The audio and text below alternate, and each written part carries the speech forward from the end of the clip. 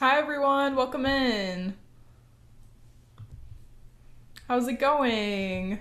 So the tune that we're gonna be working on today is called Sellenger's Round and it's spelled a couple different ways. Some spell it with an E, some spell it with an I, so you'll see it a couple of different ways, but hopefully you were able to take a look at the sheet music, and if not, it is in the Jam Workshop resources folder, which I sent the link for in the email that I sent earlier today, about an hour ago, and then the one that I sent on Friday with all of the Jam Workshop information and the links and all of that.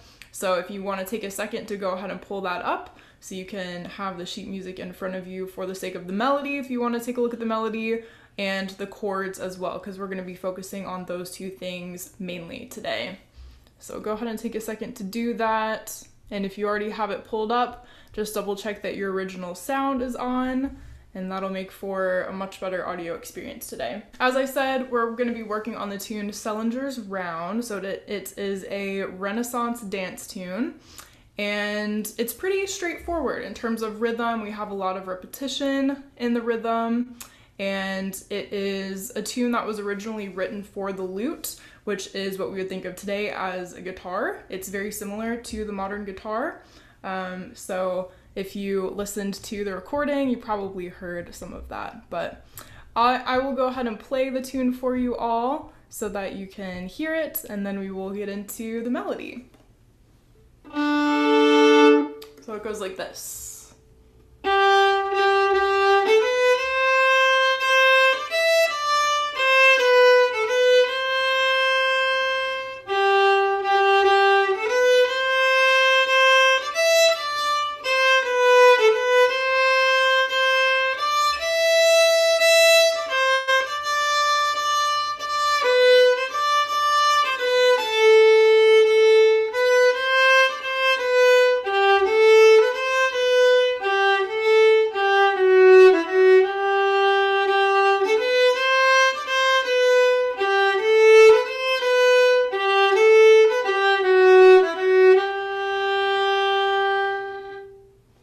That's the tune. We're in 6-8 time and it is in C major, although we do have a couple of accidentals. But as I said, it's a pretty simple melody. There's not a ton going on, and you might have noticed that although it is on the slow to moderate side, I did not add any vibrato. Really, the, the focus of this tune is the melody and just really allowing the, the purity of the melody to come through in a really clean way. So yeah, let's go ahead and play a C major scale and then we will break down the melody phrase by phrase. So we're gonna start on the G string with a low C and we're just gonna do a one octave C major scale as half notes.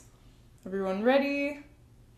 Here we go. One, two, ready, go. But let's go ahead and start with this first phrase. As I said, we're in six, eight times, so keep that in mind as we're going through.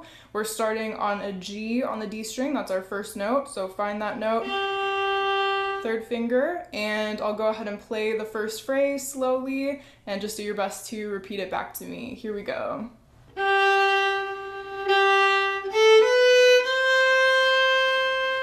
Your turn.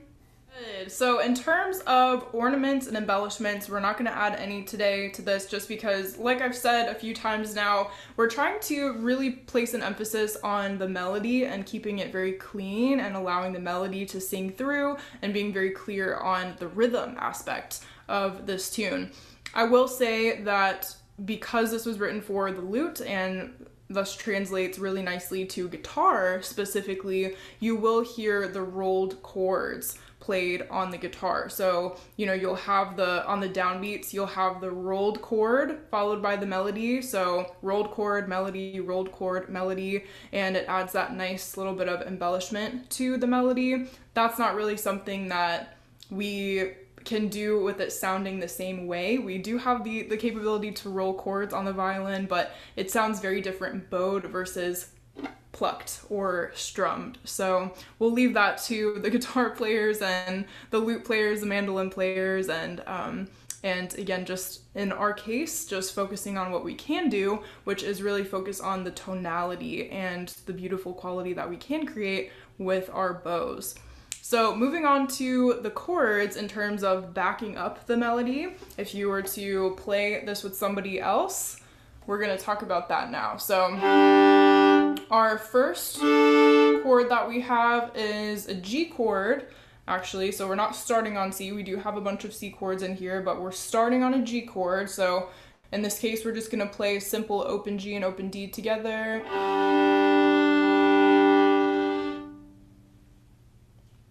Okay, and a lot of the times in this tune we have just one chord per measure. Sometimes we have two. So in the cases where we have just one chord for a measure you can decide if you want to take two bows one two three four five six or just one sustained bow the whole time. It's up to you and what you like the sound of better and what is the most comfortable for you to actually achieve when you're playing this. So let's go ahead and just try this g chord in time so one, two, three, four, five, six. All right, but for now, we're gonna do one last playthrough of this tune, Sellenger's Round, and I want you to either play chords or melody. You've got one of two options. So take your pick this last time around. All right, everybody ready? Here we go. One, two, three, four, five, six.